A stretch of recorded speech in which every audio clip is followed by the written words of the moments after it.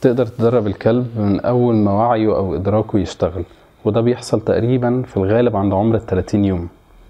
من أول 30 يوم أنت تقدر تأهل الكلب أو تدربه كمان على commands محددة. لو عملت search على كلب اسمه كوبر ده كلب golden retriever متعلم sit آه، أوامر وهو عنده 45 يوم وبينفذهم بإتقان هايل. فده يخليك تعرف إن أنا مش لازم أستنى على الكلب لحد ما يوصل عمره ست شهور علشان أبتدي أدربه. في حاجات معينة بتقع مننا اللي هي احتياجات الكلب نفسه. الكلب ده كائن عنده إدراك وعنده وعي وعنده احتياجات. هو محتاج إن هو يلعب زيه زي أي طفل. محتاج إنه يتشاقى محتاج إنه يتنطط محتاج إن هو يتعرف على الحاجات اللي حواليه والبيئة اللي حواليه. هو مش هيعرف يتعرف من النظر مش هيعرف يتعرف إن أنت تقعده جنبك وتفتح له مثلا ألبوم صور كده وتقول له ده أسد ودي بطة وده جزمة وده آه، خشب. لا أنت لازم هو يعرف كل حاجة بإيده أو بمعنى أصح بأسنانه. وبملمس كفوفه علشان يكون عنها خبرة ويبتدي يتعلم. عايز تدرب الكلب من أول 30 يوم تقدر توجه سلوكه بحاجات بسيطة إن هو يعمل حمام في مكان صح. وأنا عملت ده كتير مع كذا جرو في نفس السن ده. بعد ال 30 يوم دول ممكن تبتدي تعلمه sit. بس أنت لو علمت الكلب sit في البيت لما هتنزل بيه الشارع وتقول له sit مش هيسمع الكلام. محتاج إنك تعلم الكلب sit في الشارع زي ما علمته في البيت. محتاج إنك تعلمه على سلم البيت وأنت نازل. محتاج تعلمه في شارع هادي وفي شارع زحمة وفي شارع متوسط في كل الأوقات. بتدرب الكلب من إن هو من هو سنه صغير خالص يبتدي يشوف الناس اللي في الشارع في مختلف أعمارهم وأشكالهم. يشوف اللي لابس بنطلون واللي لابس جلابية اللي محجبة واللي بشعرها اللي لابس نظاره اللي عنده دقن زي كده واللي ما عندوش دقن اللي أقرع اللي بشعر. يبتدي يشوف كل الأشكال دي يشوف ال- الأطفال في مختلف مراحلهم العمرية. أنا عندي فريدة لحد النهارده بحكم إن إحنا قاعدين في المدينة يعني أو قاعدين في القاهرة فقليل لما بنشوف حد لابس جلابية. فريدة لحد النهارده لو شافت حد لابس جلابية بتهوى عليه.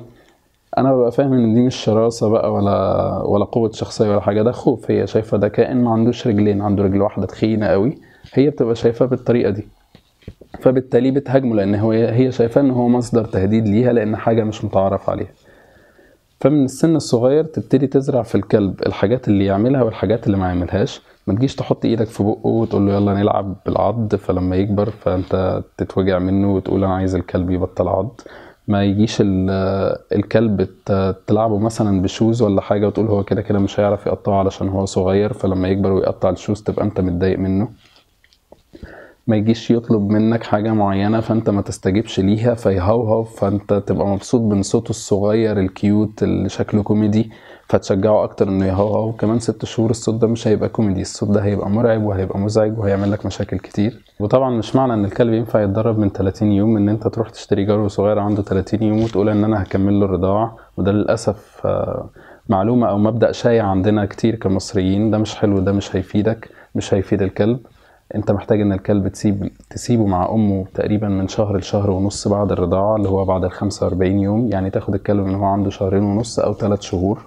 علشان الأم في الوقت ده بتبتدي تعلمه حاجات كتيرة قوي انت هتتعب في انك تعلمها له. هي اللي بتعلمه الفرق ما بين العض بتاع اللعب وما بين العض بتاع الهجوم. أو الدفاع عن النفس. هي اللي هتعلمه إن هو لما بيجي يعمل حمام بيعمله في مكان بعيد عن المكان اللي هو نايم فيه وبالتالي أنت بتستخدم نفس الكونسبت ده أو نفس المبدأ ده في إنك تدربه على الحمام. ولما تيجي تلعب معاه ويجي يعضك أنت مش هتتوجع منه لأن هو امه فهمته إنه لما يلعب بالعض أو حتى لو هيلعب بالعض هو هيعض عض بسيط مجرد إن هو يمسك. زي فريدة كده أنا ممكن اديلها بيضايه نيه تمسكها في بقها وما تكسرهاش. دي حاجة مشهورة قوي في ال golden retriever بس تقدر تطبق المبدأ ده عموما على فكرة العض كلعب أو العض كهجوم أو دفاع عن النفس.